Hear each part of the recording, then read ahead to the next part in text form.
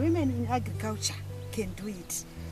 Tinobvira pakuchengeta kwokukwikwidza kuchengeta dzingava mhuka tichiita horticulture tichibva pahorticulture tichitoipinda kune zvimwe kuti hapana chekumirira. Isusu tiri kuti bhora mberi ndiyo vhizheni yedu ya2030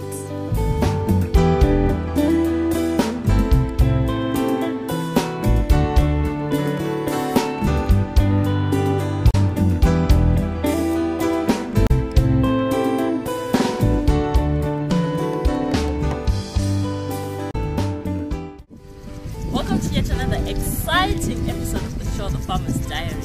Nasi tiri kuno kunoton kufarm kwagogonyagano kwatichange tichidzidza how to farm cabbages. The production guide mafertilizers amunoshandisa kana muchirima macabbages mvura yavakashandisa kurima kwemacabbages avo. Kuti vanomboisawo here manyuwa enguruve dzimwe dzavanorima kana kuti vari kungorima macabbaji ngatidzidzei zvakawanda tione kuti ivo gogonyagano vasvika sei pakukwanisa kuti vakuchimova from piggery to horticulture. I'm your host senyaradza mutizo and this is your show the farmers diary. Igogonyagano zvakare ndiri kuno kunoton chegutu district mashonaland west yatinoti mashonaland best. Tisu takuita zvecabbage e, panapa tine 7300 e, heads dzatatangawo nadzo. Tiri kushandisawo manyowa enguruve sezvo tichiita zvenyaga city pigary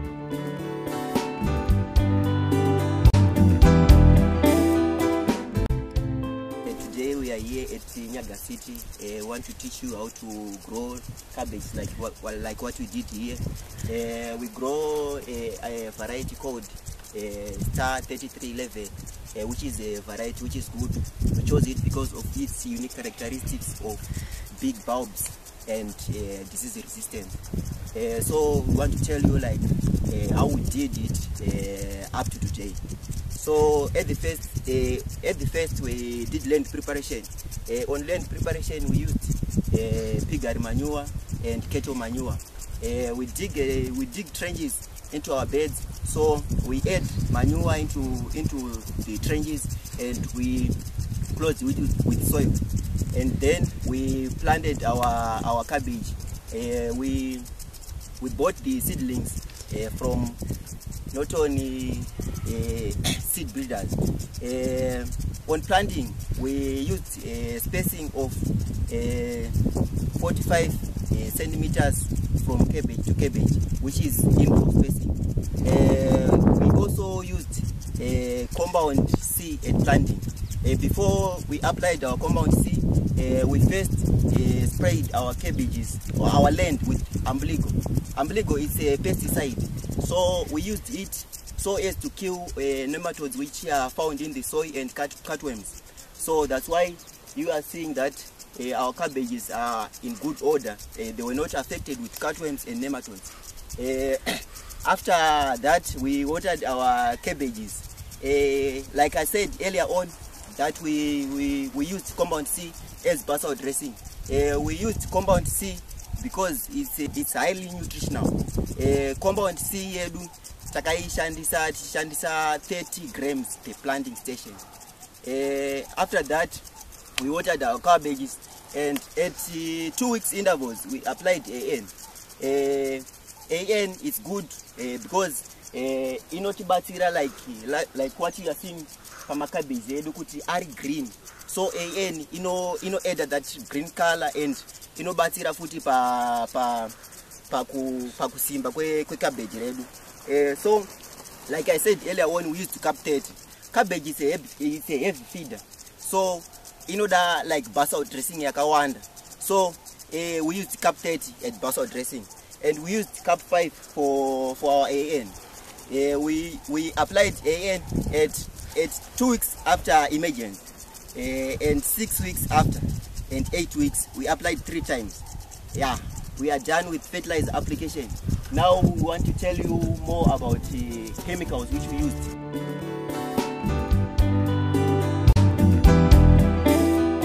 takashandisa nemesis tikashandisa bravo tikashandisa belt tikashandisa mincoses eh, tikashandisa dimethiod so like eh, machemicals andataura aya pane mapesticides nemafungicides. So cabbage redu isusu tinori tinori spraya eh, every thursday. So musprayero watinoita tinoti this week tikaspraya pesticide next week tospraya fungicide. So mapesticides aya tinomachinjanisa this week tikashandisa nemesis. Next week takushandisa kana diamethod izvi tinenge tichizviitira kuti mapesti edu anogona kupedzisira ava resistant to me- me- to nemesis yatinenge tatanga kushandisa. So tinenge tichiitira kuti chi azo anogona kuzotadza kudi urayiwa nenemesis iyoyo. Thats why tichizochinja ma- machemicals edu. Pari panyaya yemafungicides mafungicides sezvandataura tinoshandisa bravo kana mancozeb izvi zvitinozviitira kuti like eh, mafungal infections edu tinenge tichiitira kuti zviite zvichichinja chinja kuitira kuti cabbage redu risanyanyo affect. Imwe method yatinoshandisa ndeyekuti land yedu hatiti igare iri wet. Tinomboita period yekuti tinombosiya kuti pamboita dry kuitira kuti mafungal infections asadi asaite build up. Because pakagara pakanyorova eh, mafungal infections anodi anowana saka ndizvo zvatinoitira kuti tinombopasiya dzimwe nguva pooma pamwe pacho todiridza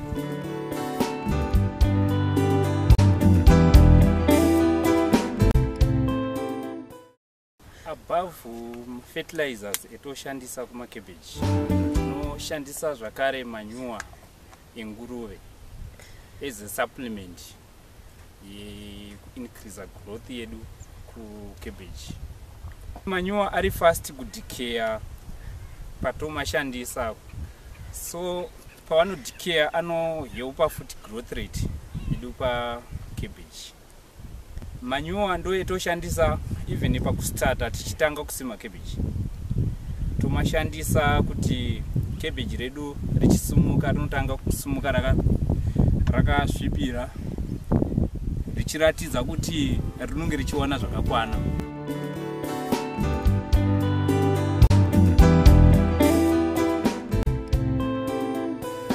That was yet another exciting episode of the show The Farmer's Diary. mavanzi vakomana vachitidzidzisa kurimwa kwemacabbages vataura zvakawanda kubva kufertilizer application vakataura zvekare kuutiliza kwatinokwanisa kuita manyuwa ezvipfuyo zvedu zvatinokwanisa wanikwa tichichengeta pamafarms edu. Saka ngatichitora information iyi tiishandise zvinoita kuti mafarming ventures edu akwanise kubudirira. Horticulture ine mari ngatiwanikei tichibata-batawo tichirima even kasmall piece of land tichikwanisa kurima mavegetables edu angava macabbage ingava viscos chaiyo kana maonion tichikwanisa kuwanawo pundutso tichiraramisa mhuri.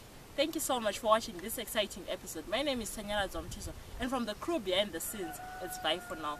Follow our social media handles. We're at the farmers diary on twitter the farmers diary on youtube and at the farmers diary on facebook